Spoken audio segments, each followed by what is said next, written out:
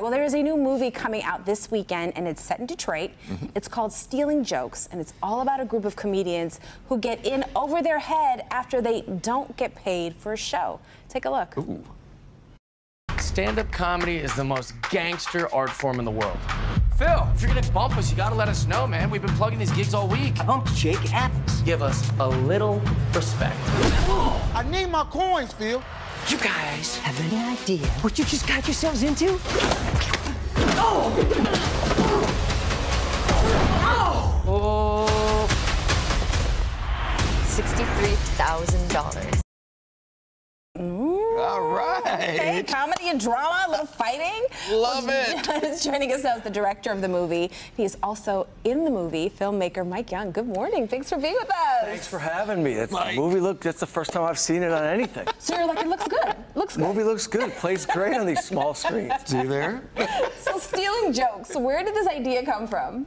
The idea came from mo- er, almost every comedian who's ever toured or been on the road and in the early days of comedy.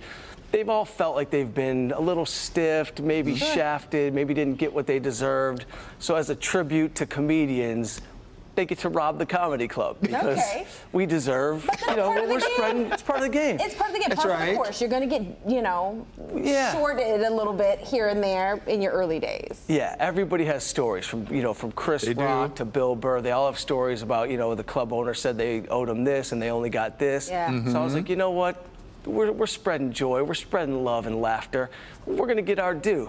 I know that's and right. so that was the impetus of the idea. And then uh, we were lucky enough to shoot it in Detroit, and I love that. I'm really proud of it. It's like comedian's Great. revenge. It dun, dun, is. dun. It is. It's for any ar- any artist. Yeah, any, artist, Right. musicians, everybody goes through it. It's We've just all- you do live shows. This is part of it. Yeah, you said, part of the game. a, said $100, not 100 pennies. Exactly. This You know is so game, I do. I'm so happy. This guy and I have been dear friends for the longest time. Him and his family, his brother. So this is That's so great awesome. to oh, so see these you. guys are friends. Oh yeah. We know each other. It's a little for bit of a reunion. I love Yeah, that. it Okay, is. cool. And uh, Mike, tell us a little bit about the cast and some of the guest stars who have appearances in your movie, and talk to us about your passion for making movies in Detroit, which I know Mm-hmm. you've had for a long time. Yes, I feel like Detroit has just as many, if not more, stories than any city in the country. So why not tell great Detroit mm-hmm. stories? And if I can come back here and do movies here, it's it's it's it's what I want to do. I want to I want to base you know base my movie game mm-hmm. in Detroit. And so, but the cast, Michael Rapaport, always hilarious, always incredible. He brought it. Jeff Dye plays the uh, the, the lead. Jake, who gets in, tr- in in heavy trouble here. Luke Null, who was uh, par- he was on SNL for a year, who I didn't even know before I casted him. Like he came in audition. I wow. was like, dude, you are the funniest dude I've ever seen. Where are you from? He's like, I was on SNL. I'm like, I You never were like, saw you. oh, Oh, okay. okay. Yeah, and then Detroit's own Ha Ha Davis, who is super funny and is literally like a movie star on the rise. I was able to get him uh, in the movie. He plays Tony, uh, super funny, and so it's just uh, I, I got really lucky with this cast. I decided like let's keep it super indie. Rapaport's really the only face you've really seen in movies a lot, but everybody else feels independent. And they uh, they pulled it off. The chemistry was great. We shot it all in Detroit and uh, it's a Detroit movie. Great. I love that. Fabulous. The city's the perfect backdrop for something like this. It really is. Yeah. And uh, you know, luckily we, we don't have to actually rob a comedy club. we just we just get to make a movie about What it. a relief. Good. Well, Thank speaking you. of comedy, he's like, thank you. Right, you've been on another show in Detroit after ours, right? We're going to be on the 12.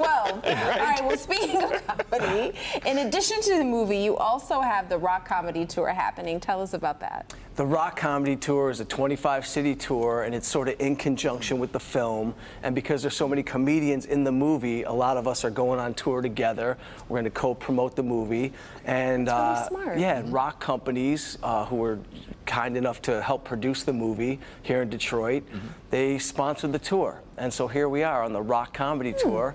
So Love it's just it's great. We're, we're keeping everything grounded, Detroit centric, Mm-hmm. grassroots, and and really, you know, Detroit's. You know, we've given it the push many times. For a mm-hmm. while, the, the film incentive was here, then it went away.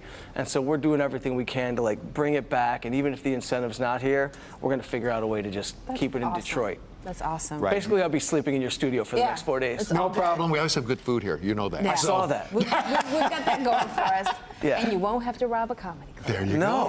go. Yeah. Now, Mike, what do you what do you think about the state of comedy when it comes down to movies and mm. stand up? Let everyone know what they can see in Stealing Jokes this Friday.